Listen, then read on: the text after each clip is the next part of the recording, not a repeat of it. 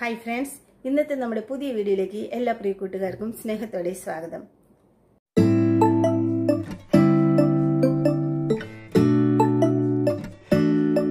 ഇന്നത്തെ വീഡിയോ ഒരു യാത്രയുടെ വീഡിയോ ആണ്. പുതിയ ജോലി സ്ഥലത്തേക്കുള്ള ഒരു യാത്ര. അതിന്റെ ഒരു കൊച്ചു ടെൻഷനും ഒരു കൊച്ചു കൗതുകമൊക്കെ ഉണ്ട്. ഞാൻ മുന്നേ ജോലി ചെയ്തിരുന്നത് ഒരു മൊഷാവ് എന്ന് വെച്ചാൽ ഒരു ഗ്രാമത്തിലായിരുന്നു. അവിടെ നിന്ന് ടൗണിലേക്കുള്ള പുതിയ ജോലി സ്ഥലം ബസ്സിൽ അധികം ആളൊന്നും ഉണ്ടായിരുന്നില്ല. കൊറോണയുടെ പ്രശ്നങ്ങളൊക്കെ ഇപ്പോഴും നിലനിൽക്കുന്നത് കാരണം വളരെ ബസ്സിൽ ആൾ കുറവായിരുന്നു. ബസ് ഇറങ്ങി അല്പം നടക്കുമ്പോൾ നമുക്കൊരു സർക്കിൾ കാണാം. അവിടെ നിന്നുള്ള കാഴ്ച വളരെ മനോഹരമായി തോന്നി.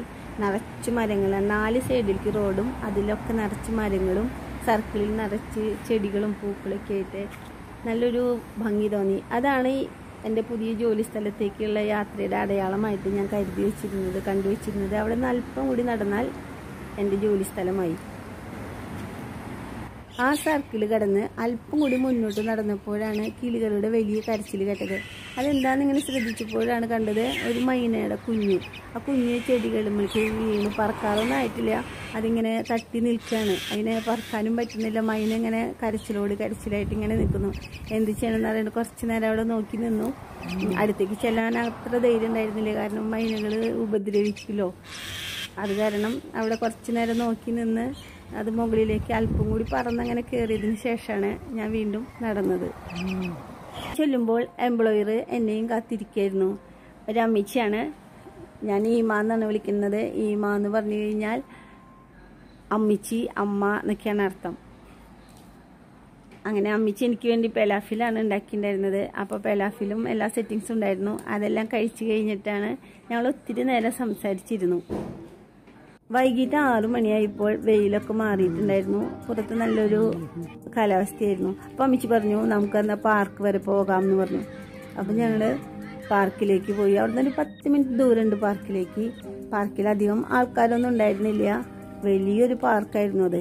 അവിടെ എല്ലാ കുട്ടികൾക്ക് കളിക്കാനുള്ള സംവിധാനങ്ങളൊക്കെ ഒരുക്കിയിട്ടുള്ള വലിയൊരു പാർക്ക്. നിറച്ച് മരങ്ങൾ മരങ്ങളിൽ നിറച്ച് പൂക്കളായിരുന്ന. മഞ്ഞ വാഗപ്പൂക്കൾ നിറഞ്ഞ നല്ല ഭംഗിയുള്ള ഒരു പാർക്ക്.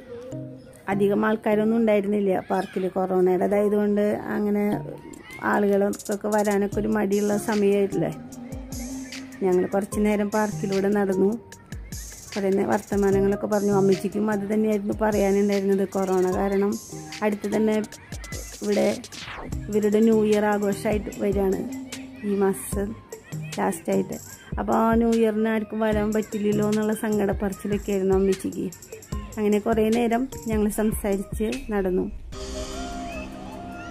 നീല ചായമടിച്ച ചുമരിൽ ചിത്രങ്ങളൊക്കെ വരച്ച് മനോഹരമാക്കിയ ഈ കെട്ടിടം ഇവിടുത്തെ ചെറിയ സ്കൂളാണ്. അതിന്റെ ബാക്കിലായിട്ട് കടലാണ്. അപ്പം അമ്മച്ചി പറഞ്ഞു ഒരു ദിവസം നമുക്ക് കടൽ കാണാൻ പോകാമെന്ന് പറഞ്ഞിട്ടുണ്ട്. വീട്ടിലെത്തി ഫുഡ് കഴിഞ്ഞ് ഞാൻ എന്റെ റൂമിലേക്ക് വന്നു. റൂമിന്റെ ജനൽ തുറന്ന് പുറത്തേക്ക് നോക്കുമ്പോഴുള്ള കാഴ്ചകളാണ് ഈ കാണുന്നത്. ഈ കാഴ്ചകളും നമുക്ക് ഒത്തിരി സന്തോഷം നൽകുന്നതാണ്.